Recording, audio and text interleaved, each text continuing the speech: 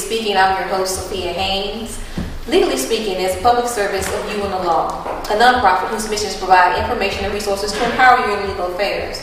Even though we provide legal information, it's no way intended to be legal advice. So if you have a legal issue, make sure you retain the services of a licensed professional attorney.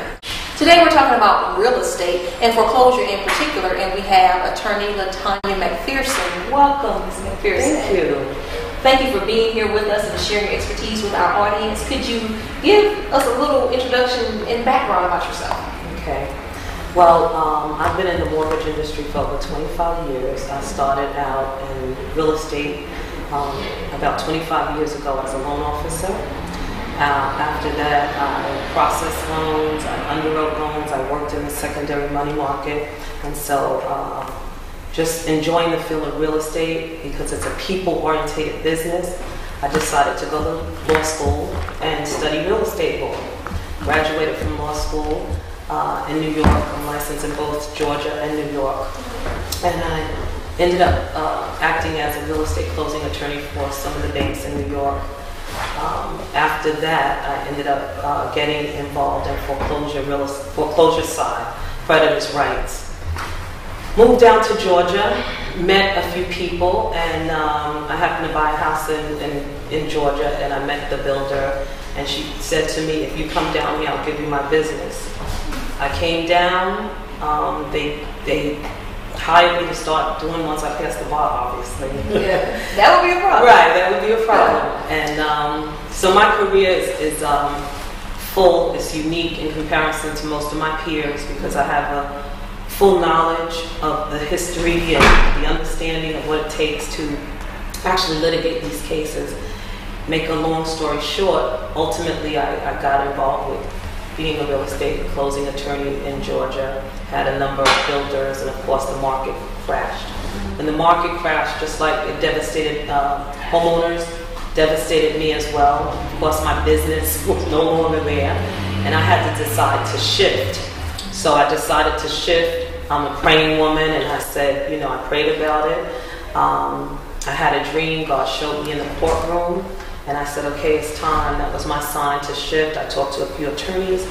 Once I realized what was happening in the market, particularly to, um, I say, poor and minority people, I remember sitting at the table uh, doing closings and uh, how people relied um, intensely on the loan officers, telling them, "Don't worry, you know, um, we'll refinance you in two years." And I did. I heard that a lot. Yes. And of course, we know what happened with that. Mm-hmm. And uh, I realized that at that time, most of these folks would still be in their homes because they could have very easily gotten a FHA 30-year fix that they could have qualified for, mm-hmm. and uh, you know, been in their homes today my knowledge as an underwriter, I understood what was happening in terms of these lenders because I usually use the example. For example, if uh, you had a first and a second mortgage, well, if I was going to lend money to someone and they started out at 8% for two years, and I knew that rate in two years could shoot up to 14%, well, don't you think as an underwriter I would want to qualify, or a lender I would want to qualify those homeowners at that 14% interest rate? We would hope that you wouldn't, but we do know that happens. Right. So as a result of that, the product itself to me was a fraudulent product. And we understand now that these mortgages that were being packaged and sold were nothing more than junk bonds, and they knew the lenders knew the market would uh, do exactly what it did. That's why you have a lot of the investor lawsuits now. Mm-hmm. But, we're going to talk about that, but I want to kind of take us back a little bit mm-hmm. to get into the whole thing because we don't take want to take for granted that everybody knows all the terms that you're talking about. Right. So, what exactly is a foreclosure? Okay. A foreclosure, generally in the state of Georgia, Georgia is a what we call a uh, non-judicial foreclosure uh, state. Whereas in this state, when you purchase a home, you get a security deed.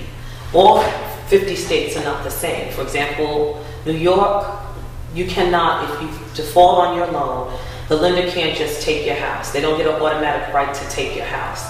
They have to file an actual lawsuit and litigate and a homeowner may have some defenses. Maybe there was notices or uh, failure to notice. There may be some type of breach in the in the actual contract. Mm-hmm. Georgia uh, is a non-judicial foreclosure proceeding. So when you purchase a home here, you get what you have uh, attached to the notice, also the security deed. Mm-hmm. And that security deed gives the lender an automatic right to foreclose. So when you sign those, those loan papers, uh, the day you close, you're also automatically signing a right, you're waiving your right, I should say, to allow the, the home, the lender to actually foreclose on your property. And uh, you may be familiar with the waiver of borrower's rights, which everyone, including myself, had to sign when I purchased a home. In the So what exactly is that for those of us that may have just ran through and just signed it up when it said sign here, sign there? you know, What exactly is that? Well, every closing attorney at the table should be explaining these documents um, to, to the borrower. But a waiver of borrower's rights, what it does, you actually are waiving your constitutional right to due process.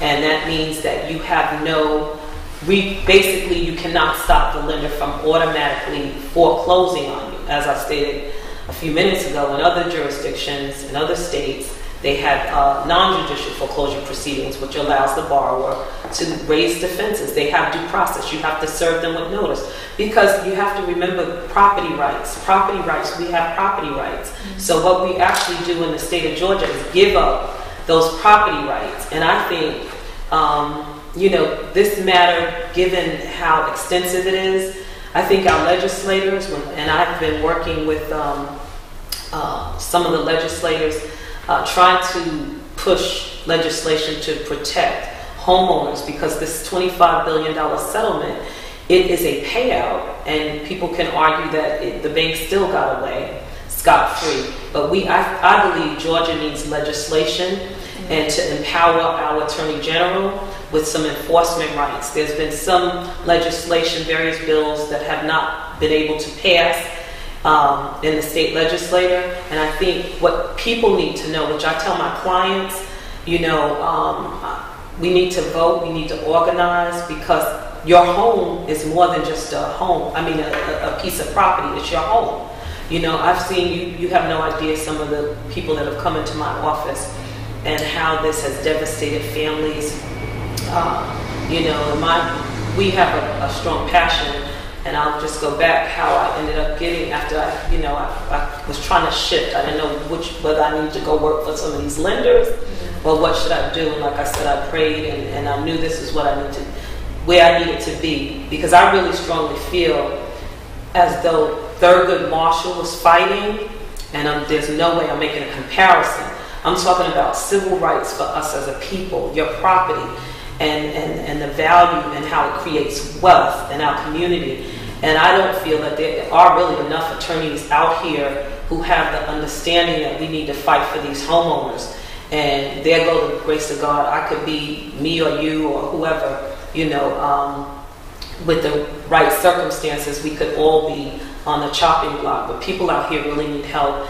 And Well, so, let me ask you this. yes, How, you're, you're telling us that it's not being done correctly. So if, God forbid, I get behind on my mortgage payments, Mhm. what is supposed to happen according to the law right now? okay. What Well, that process? Okay, well, the process is the same. Um, you can't, we have to distinguish the actual settlement um, for uh, what we, they're labeling as robo-signing. Doesn't deal with the actual extensive fraud that went on in the industry. Um, it's particularly focused on robo-signing. When you, when the lender forecloses on you, there's certain documentation that they're supposed to do um, in order to bring that foreclosure about. Now, what is some of that documentation? Well, foreclosure process in the state of Georgia, they have to give certain notification to the borrower. They have to, according to your note uh, and your security deed prior to foreclosure, they have to give you a notice of acceleration telling you that the loan, uh, various notices are due. So the acceleration tells me not all the money is due. Right. Well, As opposed to you making payments every month, you're behind now. So you need to make the entire balance due. Well, it's a process. They have certain amount of time to send you a notice telling you that you're in default. It's the notice, it has to state uh, who to make your payments to, who has the right to modify or amend those, that loan. Um, you know, you have a period, and a lot of homeowners don't understand that they may have a right to reinstate the loan according to your note. So this is at that point where I've got a notice, I'm behind, now they're saying, go into you're, you're, you're, you're in default. Mhm. So after I get the notice that says I'm in default, then what should I get next? Well, what you should get next is it's fairly complicated because there's been a lot of changes in laws depending on whether there are um, tenants in the property, it's an investment property, or you live there. But there's so the main thing uh, a, a borrower needs to know is that they should get notice. Now that notice, uh, most most foreclosure firms send that notice out, certified mail, to make sure that you received it. Although we have people that come in my office saying they never received the notice. Um, And is that multiple notices I should get before the foreclosure proceeding, or uh, one notice that I'm getting? Well, you should probably get more than one notice. Initially, you will get a notice of acceleration. That's when the lender, you've been maybe three months behind. And it all depends on the lender. Some people own their houses and they haven't been foreclosed on. So that's part of the problem too, because there's no um, standardized process among the banks with respect to foreclosure.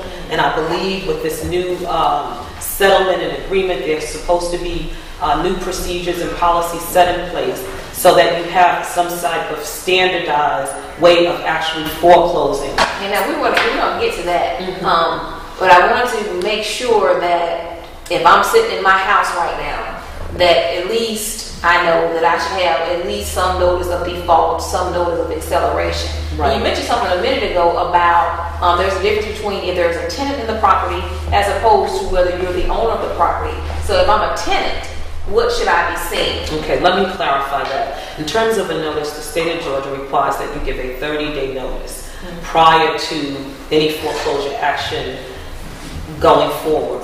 However, lenders really give more than that because they have to advertise uh, prior to the sale. They have to legally advertise that notice in a daily uh, Herald or daily paper in the the county paper. in the county where the property is located, right? So they, you know, it, it, it, they you will have a little time. Uh, secondly, with respect to the tenants in the house, the notices are different. The tenants under the Obama Act, which was recently passed last year, um, which applies to the states and the counties now with respect to notice and evicting tenants.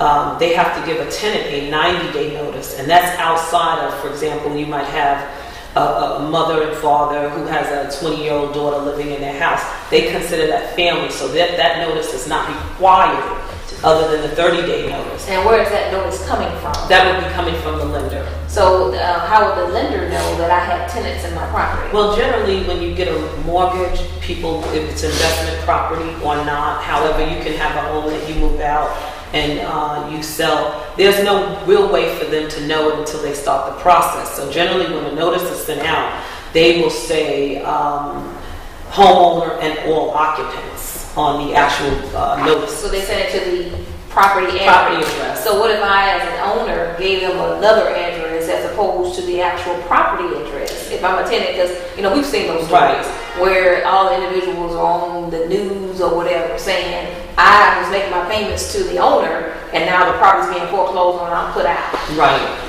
Okay, this is a touchy situation, and again, I believe there has to be some type of legislation set aside to deal with those gray areas because what happens is when you have a situation, as you just explained, where you have a homeowner who moves, rents the property out, and have the notices sent to another address, which I've had, legally, once the, the owner says, send my paperwork here, the bank has to send that paperwork there. Now, what happens when you have a tenant in that property? Well, then it's up to the homeowner to say, well, I have tenants in the property. If you can't hold the bank liable if they didn't have knowledge. So generally, what they do in terms of an eviction, when they move towards an eviction, they will al- always put the homeowner's name and all occupants. So that covers that part of it. But right now, if you have a tenant in the house, the tenants do have certain rights, and that's a 90-day notice before they can be evicted, not foreclosed on. Now, when you have people like you mentioned, where they'll, you know, take money from tenants knowing they're in foreclosure, that's a whole separate issue. Okay, well, we're about halfway in. We take a break.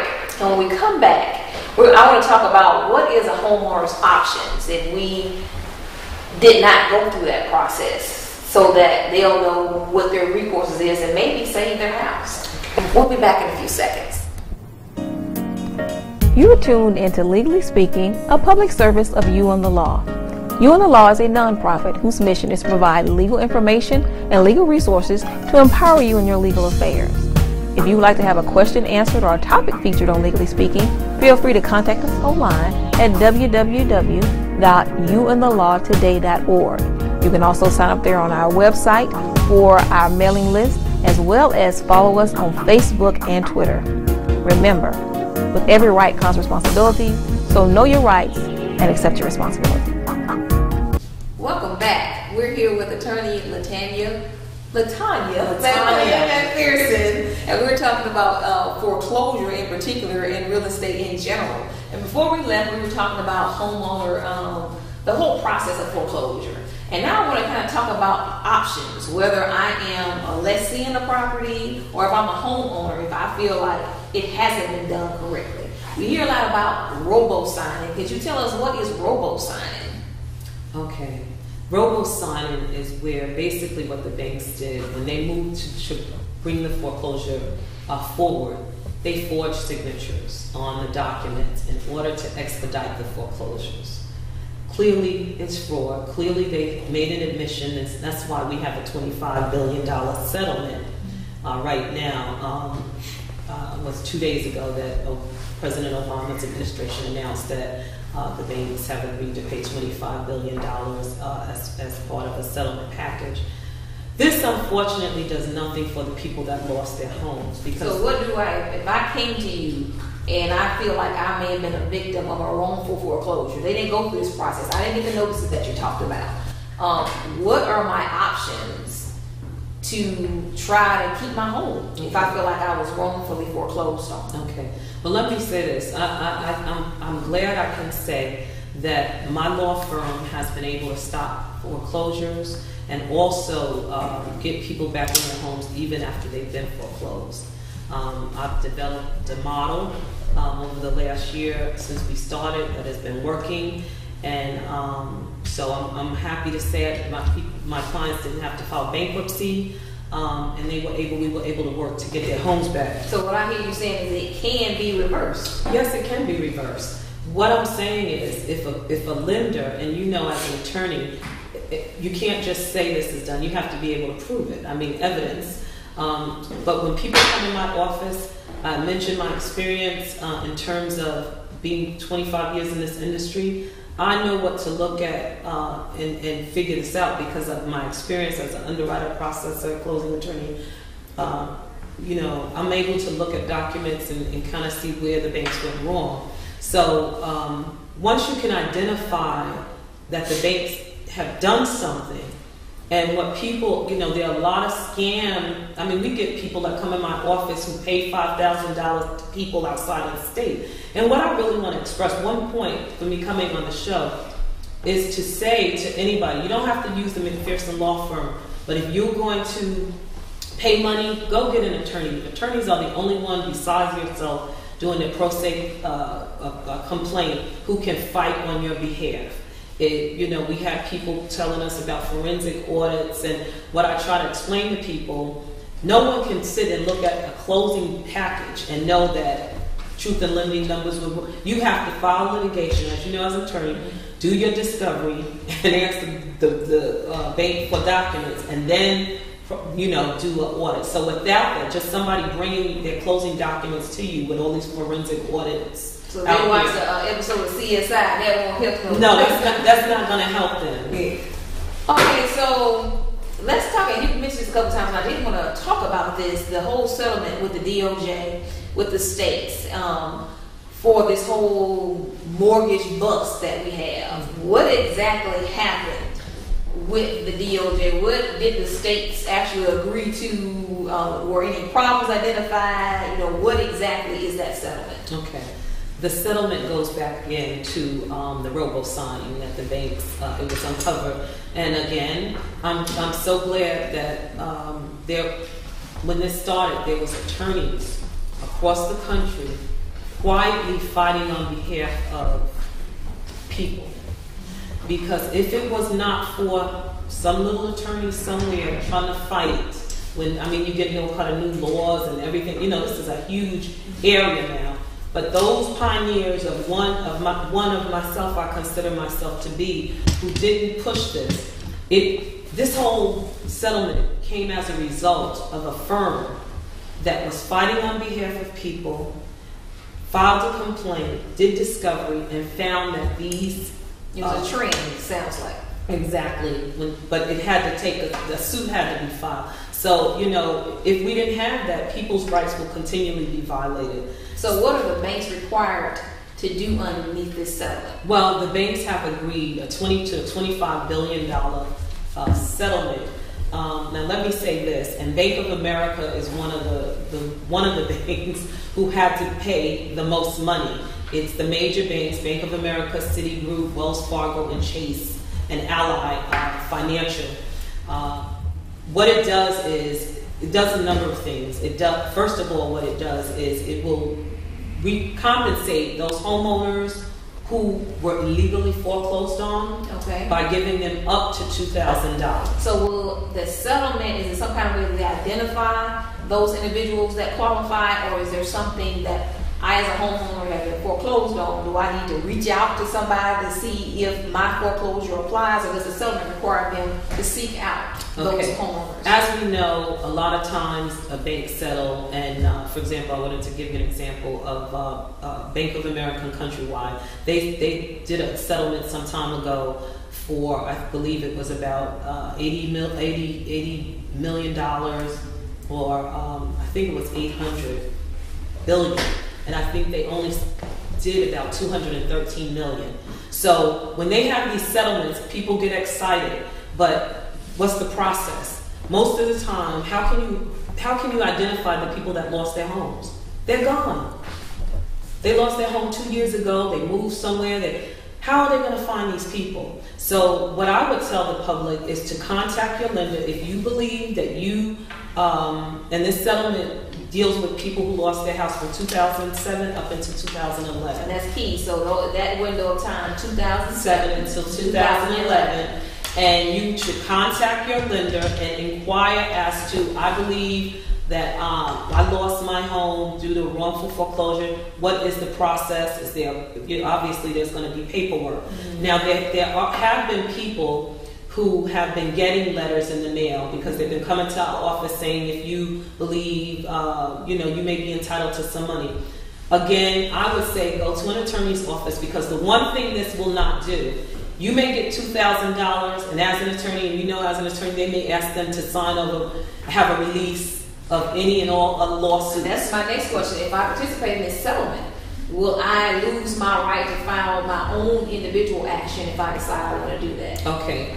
Quite honestly, I have not seen any of the paperwork yet um, that the bank, since this settlement just occurred, I'm sure the lenders are putting certain processes in, in place right now. But I would tell a homeowner, quite frankly, don't sign anything, get the information and contact an An attorney and let them look over. it. prior to you signing away because you know that two thousand dollars is not going to you don't lose the right you don't lose the right this this this uh, settlement you still have a right to sue however we don't know if that paperwork that's coming from the bank here's a check for 2000 i don't know if it's saying in that paperwork you release all your rights you Or, know. or even limit them. Right. So that's something I think. Get the information and contact an attorney to, and ask them to review your paperwork before signing anything. And that is actually a great point. Um, how long do you think before this whole process starts for the, the money to start flowing to homeowners? That's a good question. I think what what is it going to take? First of all, when you think about the number of people that have lost their homes that cannot be found because the lenders are going to say, "Well, we sent a notice. Let us know an address, right?" Um, so most of the people who were hurt are not going to be able to take part in any settlement anyway. The other thing is that most, what I'm finding, and obviously uh, our people particularly don't have money for an attorney. Um, we take these cases on, and no, I'm not a not-for-profit organization. We get paid, but I try to work with my people. I meet them where they are. We set up payment plans, and I don't take frivolous cases. So if you come in and I look at that file, and I could substantiate and prove that something's been done, we take the banks head on. Um, we've settled uh, in the process of settling some cases. Uh, we have a number of different types of cases uh, mor- mortgage fraud case, wrongful foreclosure, and one of the things I'm finding now is that the wrongful modification process, most of the clients that we're getting in now, they've been dealing with banks for two and three years just trying to get a, for- a, a modification and can't get it done. So, Well, let me ask you this: Is does is there any other help in this new bill for people that may be in bad loans? I've been able to keep up my payments, but um. That's a very good question. This see again, this industry is so fickle. You have a situation now, and this is a good thing. Some of the I'm, I'm not sure where it's all going to land in the end. We have you know the bullet points of what's going to happen. But if you're behind in your mortgage right now, they are talking about reducing your principal, which is a great thing. That is great. Um, they have programs that will allow you to refinance. So when you refinance, that'll be able to bring the principal down and the interest rates down. Um, today, unfortunately, uh, at the Congress Georgia Center, which they don't publicize, they're giving out up to fifteen thousand to each homeowner who's trying to buy a house. wow. um, so that's but- good information to have. But it's today, and you know how much was it publicized anywhere? You know, people don't know. There are a lot of things going on. So So what I hear you saying is there needs to be some due diligence Right. on on the part of the homeowner as well. Right. There is a maybe some things are not going exactly right, but we can't just say they did it. We need to make sure that we're diligent Right. about that. Right. Unfortunately, we are getting toward the end of this show. Can you believe the time flew by so fast? Is there anywhere, um, any resources out there that homeowners can find out about the settlement they have or foreclosure law in general, where they can go and get more information about that particular topic? Right. Well, I would say that the there's a plethora of information on the internet.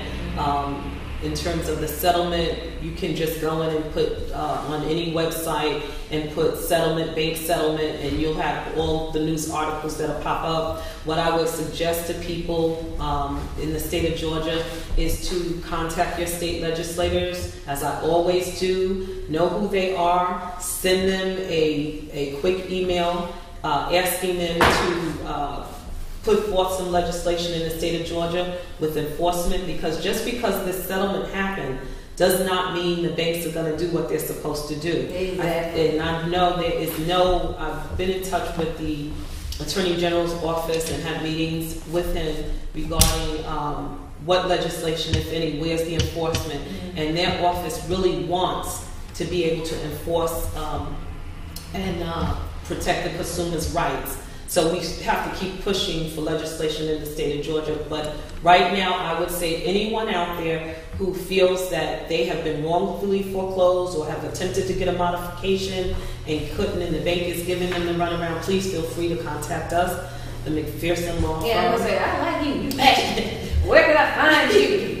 Well, you can find us. Um, we're at 7175 Jonesboro Road. That's located in Morrow, Georgia.